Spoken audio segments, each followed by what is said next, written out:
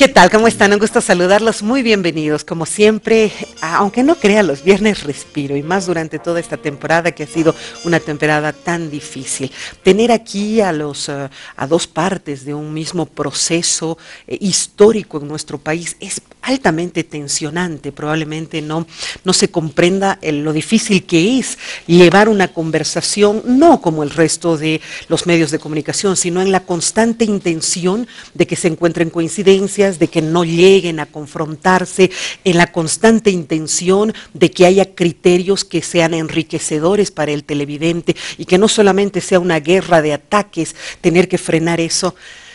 No sabe usted lo difícil que es, pero el viernes respiro y aquí no hay nadie que se confronte. He hecho catarsis antes de empezar el programa, me he quejado porque no es fácil. Peor ahora que son cuatro los de panel y, claro, cada quien con sus propias percepciones es difícil, pero el viernes hablamos de psicología, que es en realidad... Eh, digamos que la raíz, la base, lo fundamental, la mamá del cordero, como dicen algunos, de todos estos eh, fenómenos sociales, eh, de todos y cada uno de los que vivimos. Estoy en compañía de nuestro psiquiatra de cabecera, Julio Bombacano, a quien le doy la más cordial bienvenida. ¿Cómo está, Julio? Lo he extrañado mucho. Bien, Verónica. También muy buen viernes para Ramiro, para ti. Creo que acabó la histeria colectiva, así que nos desconectaremos todos. Histeria colectiva, tal cual aterrorizante porque podía suceder cualquier cosa. Y cognitivo comportamental, como es mi amigo Ramiro Balda, él nos va seguramente también a ayudar a analizar todo lo que ha significado estos días. Eh, el día de hoy vamos a hablar de las redes sociales, ¿con qué cámaras? Esta, De las redes sociales, pero también vamos a hablar de lo que significaron esos días de absoluta atención. Ramiro, querido, bienvenido. Pero como siempre, Julio, es un gusto estar acá y volverlos a ver en esta semana que, culmina y que bueno, ya vienen dos días de descanso y de bajar el nivel de tensión y ansiedad. El lunes los bolivianos casi nos agarramos. Al bajar hacia mi casa vi con absoluto dolor y preocupación que había en la puerta del Chuquiago Marca dos coches Neptuno muchos policías en la puerta y seguían llegando camionetas y bajaban policías, seguían llegando camionetas y bajaban policías y estaban todos con rifles, me imagino que no eran rifles de, disparar balas, pero serían pues de disparar gases lacrimógenos. En las redes sociales había también una efervescencia que decía, tenemos que bajar a defender el voto, mm, estamos aquí a defender el voto, ¿dónde está la generación Evo? Vamos a bajar a las 5 de la tarde. Audios de jóvenes que les escribían a sus padres y que además giraban en todos los grupos de WhatsApp, este, estamos aquí, solo somos 17, pero necesitamos que alguien baje porque ahorita van a bajar los de la generación Evo y estamos solos, ¿no? ¡Ay, caramba! ¡Qué triste, qué doloroso ver tus dos Bolivias queriendo confrontarse! Qué difícil fueron esos momentos. Histeria colectiva la llamas. Eh, definiremos un poco. Si recuerdan, el anterior viernes habíamos hablado un poquito de los temas de polarizar, ¿no? Los habíamos visto desde el ángulo individual y también desde el ángulo social, lógicamente. La idea es que si quieres manejar los famosos cerebros de niños en los adultos, tienes que polarizar. Creo que ahí nos habíamos quedado el viernes en espera de lo que iba a pasar justamente. Y es una paradoja, en mi opinión, porque si tú generas una estrategia de polarizar a la población, digo. Ponerla en el, entre la espada y la pared, o blanco-negro. Correcto. Estos contra estos. y es pues absurdo entrar a analizar siquiera que desde ahí se va a generar violencia, confrontación, etcétera. Eso es un resultado natural. Por supuesto.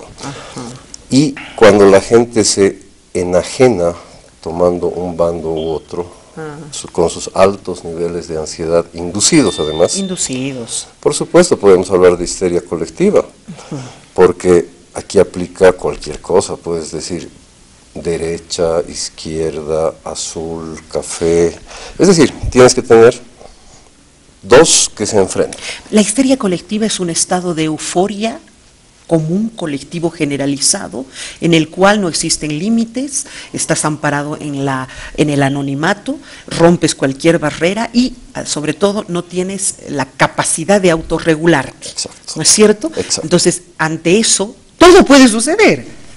Violencia que puede ser administrada bien o administrada mal. Y justamente lo que comentabas, ¿no? Se puede dar que incluso la fuerza pública esté intentando disuadir o no la violencia. Al final, no importa el tema, lo que importa es lo que se ha instalado en el imaginario de esa población. Y si vemos los números de lo que ha sucedido, más allá del resultado en términos de los intereses políticos o lo que se llame, pero se ha logrado exactamente polarizar a la población 50-50. 50, sí. Bueno, eh, desenfreno, euforia, este, bueno, le podemos poner tantos, eh, tantos nombres, ¿no? Una cadena de actitudes casi impensadas eh, y justificadas, que es lo que más me, me- me conflictúa, que el ser humano, no importa lo malo que esté haciendo, tiene la capacidad de que su cerebro lo justifique. No, es que tengo yo que ir a defender el voto, es que yo tengo que ir a... Por Dios, es decir, cuando el, el- fondo del asunto es que te vas a ir a enfrentar o que estás enfrentando o que tus hijos se van a enfrentar, pero lo justificas y lo maquillas hasta el extremo que parece que está bien. Exacto. Aquí hay dos elementos claves. Uno creo que lo que ha pasado es una situación de violencia instrumental. ¿no? Se ha utilizado a un grupo de gente y a otro grupo de gente, se los ha polarizado en función a ideas que no son coherentes, pero eso ha sido instrumentalizado. Y eh, la sociedad polarizada con ideas no coherentes, con un- un- una percepción no exacta, digamos, o acercada a la realidad, ha generado violencia. Y esos comportamientos de violencia definitivamente estaban orientados a algo que no teníamos control nosotros. ¿sí? Eh, nosotros no tenemos control de lo que se haga en un estamento político o, eh, no sé, pues del Estado, no tenemos control. Pero ¿por qué estaba ahí la gente? Para defender el voto. En realidad, ¿podrás defender el voto haciendo eso? Cuando hay una voluntad Sí. política que es, Eh, es más muy allá de- alejado de la realidad. Claro. Pero había un riesgo muy alto de confrontación en ese momento.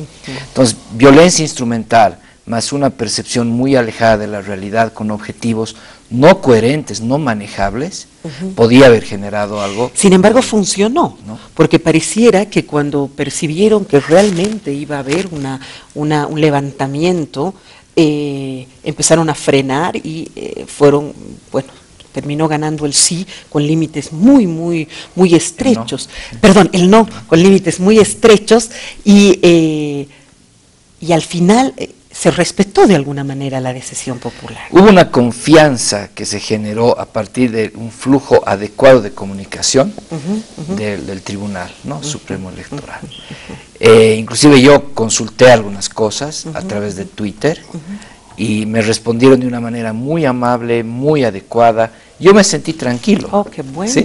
Entonces, eh, entonces pensé, si mucha gente está haciendo lo mismo y las respuestas son muy similares, se está generando un nivel de confianza. La desconfianza es cuando cortas la comunicación, no hay comunicación ni por Twitter, ni por Facebook, ni por nada, y realmente es una caja negra, no sabes qué están haciendo. Como cuando han cerrado las ¿Sí? puertas. Eso genera desconfianza, que de hecho no debería haber, porque deberíamos confiar en, en los estamentos eh, que se dedican, digamos, a la toma de decisiones. Ok. Ahora, eh, ha sido esto tan interesante que inclusive ha involucrado un juego de valores, si puedo llamarlo así, eh, un juego de principios a la interna del gobierno. Puede ser una construcción social y real, como puede ser una absoluta realidad imposible de- de- de- de negar, que había dos frentes supuestamente dentro del gobierno, uno que pedía que se respete el voto popular y otro que todavía estaba doblando. Y había un juego de valores, y es como que le hubieran entregado ese juego de valores y que haya vencido el valor de la verdad. ¿No es cierto? Y eso es como una construcción real o irreal, que al final nos termina haciendo aplaudir la situación. ¿Fue así o me estoy inventando cosas? No lo sé. No lo y no lo quieren decir tampoco, te cuento. Unos dicen sí, otros dicen no, no lo quieren decir. Si recuerdan, uno de los grandes aportes de Freud desde el psicoanálisis, eh, dicho en simple. Ya, ya, ya, sí, porque Freud era complicadito. Diferenciar lo real de lo simbólico y de lo imaginario. Diferenciar. Porque siempre nuestra imaginación va a estar generalmente muy lejos, muy lejos de la realidad objetiva, ¿sí? porque vamos interpretando cosas a partir de nuestra cultura individual. Y por lo tanto podríamos dar miles de opiniones subjetivas respecto a este tema. ¿Quién ha ganado? Yo podría decir. ¿Habrá ganado este referéndum una facción al interior del gobierno que le interesa continuar ejerciendo el poder sin Evo, por ejemplo? Podría yo decir. Podría yo decir que ha ganado el no para que otro partido político de oposición pueda acceder al gobierno, podría decir. También. Todo podemos decir. Te da un montón de análisis. El asunto es que alguien objetiva y realmente ha debido instrumentalizar esto con un objetivo. Vuelvo a redundar. Real, realidad objetiva con un objetivo. Y eso generalmente es lo que no se sabe, porque lo que queda en el imaginario de la gente son las interpretaciones subjetivas de este tipo de procesos. Por eso pues inventaban toda la, mitología, ¿no? Y todas esas construcciones fantásticas de los seres, no sé, su, eh, sobre reales. Y claro, aquí también empiezan a jugar así el papel. Existen los malos, ¿no? Que vendrían siendo todos aquellos que se mueven desde las redes sociales, y los buenos, que son los que están en lucha porque se realice una un acto correcto y adecuado de respeto a la verdad. Así se ha jugado, creo, ¿no es cierto? Así se ha jugado. Y colorín colorado, digamos. Así se ha jugado. Han habido estrategias eh, muy sutiles de manejo de la información, pero también han habido despropósitos en cuanto a descalificar a otra persona. De ambos lados. han habido despropósitos, han habido exageraciones, y eso va generando una representación social. Cuando hablamos de representación social desde la psicología, es como un grupo de gente a nivel cognitivo percibe algo como verdad. Sí. Simplemente por la frecuencia de la información. Miente, miente que algo queda. Exacto. Por, la frecuencia de la información, por la intensidad y la forma en que la transmites, algo queda. En el Y ese algo puede, en el balance decisional de la persona, hacer que alguien tome una decisión en ese momento, simplemente por un detalle, por una unidad de información adicional que se te presente, tú la percibes como verdad y tomas decisiones y actúas al respecto. En ese momento que salió un tuit relacionado a la confrontación que hubo dentro del propio gobierno entre los entre el ángel bueno y el ángel malo, no sé cómo quisiéramos interpretarlo y podríamos hacerlo de muchas maneras. Este, yo pensaba y decía, el que se ha inventado esto qué capo, ¿no? Qué genio o qué peligroso. Un Maquiavelo maravilloso que puede haber construido aquello para que la gente empiece a creer o dividirse o tener más, más fe en uno o en el otro, empezar a crear ídolos. O si sucedió, bueno, qué humano, siempre hay un humano con más valores y otro con menos valores, qué humano. Pero mm, caramba, qué triste que el ser humano funcione solamente a partir de algunas instrumentalizaciones de otro, como siempre nos dices aquí, ¿no? ¿Cuál es la, cómo es, cuál es nuestro plan hoy día, Pinky? Cerebro y Pinky. Cerebro y Pinky, siempre el cerebro y el pueblo es Pinky, ¿no? Eh, Pero no es para tanto, ver. Eh, creo que los pueblos como el nuestro, que están conformados mayoritariamente por adultos niños, y que por ende están gobernados por adultos niños, sin duda, También. estos son juegos de niños no hay que tomárselo tan en serio. Son juegos de niños. Si hacen las secuencias, se van a dar cuenta cómo son juegos de niños. De, me has quitado el dulce, la pelota, me enojo, reniego, eh, te jalo el cabello. Ah, yo. Ejemplo, ¿qué pasaba si ganaba el Sí, en términos de las redes sociales, por ejemplo. De pronto hoy día se estaría diciendo que las redes sociales son lo máximo, que tienen que ser absolutamente libres, que son geniales, que es una maravilla. Entonces, claro, tienes que encontrar un justificativo, desde donde sea, para, ah, ah, ah, quiero mi pelota, quiero mi pelota, y este tiene la culpa, el otro tiene la culpa. Son juegos de niños. Cierto, tienes toda la razón. Por eso es relativo, subjetivo. No podemos ver eso desde una mirada adulta, racional, porque no encaja. Por eso un escenario tan difuso. Dice que hay, hay eh, tú me decías, creo que era que había un país, Bruselas, si no me equivoco, una Bélgica, ciudad, Bélgica. Bélgica, que había estado sin presidente durante un año entero. Más de un año, sin gobierno, ni siquiera sin presidente. Sin gobierno, o sea, sin ejecutivo, me imagino, y claro, por ser eh, sociedades bastante adultas, con seres humanos bastante maduros, Autorregulables. no han tenido necesidad, de, pero nosotros, y eso hablaba el otro día con los del curso, no solamente necesitamos un líder, necesitamos un caudillo, No, es que el alguien que caudillo, nos enamore. el- el que te- caudillo, Ajá, el jefe, siempre va a ser un niño adulto. El líder va a ser un adulto, adulto. que te obliga a pensar, a reflexionar, a analizar, a negociar. Ese es líder. ese es El líder. jefe es el que te polariza, correcto. porque es un niño. Pero esta sociedad quiere caudillos. Esta sociedad no tiene, no quiere líderes. Quiere uno Todavía. que le hable bonito, que le diga cosas, que le haga un drama, que le llore, que qué carismático. La guerra de las galaxias, el bueno, el bien contra Pero si viene otro genial, brillante, pero no con gran carisma, no, este no. Prefiero uno tarado, pero con gran carisma. Dios mío, son sociedades tan de niños, como al niño, ¿no? Le vienes y le cuentas una historia fantástica. Y qué lindo me ha contado el cuento la tía. No, mejor que la tía nomás me cuente los cuentos. Exacto. Es el razonamiento mágico. Correcto. El caudillo va a jugar con el razonamiento mágico de, de la gente. ¿sí?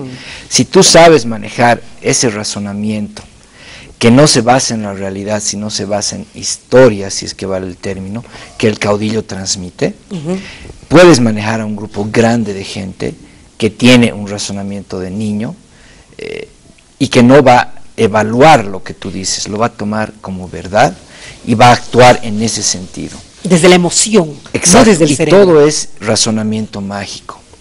Por ejemplo, el discurso de, de, de Linera cuando habló de que el sol se va a esconder, etcétera, eh, es excelente. O sea, está dirigido, pero perfectamente para trabajar con el razonamiento mágico de la gente. A mí me pareció brillante el Sí, discurso. sí, sí. Para niños de 6 a 8 años. Exacto. No, y para ¿no? gente que tiene una visión Entonces, absolutamente de creencia de eso, ¿no es cierto? Con el razonamiento mágico de las personas y eso se ha tornado en una verdad. ¿no? Oye, no sale el sol hace varios días. Exacto. Te advierto. Es- una eso- verdad. Es una verdad. Pero eso, hacer- eso ha dicho que iba a pasar. Pues, hacer, Imagínate eh, la, la fuerza de la mente del Claro. colectivo que justo empieza a llover. Es que puedo hacer yo inferencias arbitrarias, o sea, relacionar elementos no en bases reales, sino en, base a mi creencia, y voy a encontrar este tipo de coincidencias. ¿no? Sin duda, sin duda. Exacto. Sin duda. Y es más, lo- puedes justificar que esa sí fue una realidad. Exacto. ¿No? O sea, el ser humano puede Creer creérsela toda. es diferente de saber. Eso es totalmente diferente. Exacto. Lo ¿no? triste de todo esto es que no depende de los líderes ni de los caudillos, depende de una masa, de una sociedad que tiene que madurar para exigir la gente más proba para ser su eh, la cabeza de su gobierno, ni líderes, ni caudillos, ni nada, simplemente uno más de los servidores públicos que se requiere. Pero caramba, nos faltará pues unas tres generaciones por lo menos para lograr eso, ¿no? O más. ¿No? ¿No tanto? No creo, ¿No? Una y media. no creo.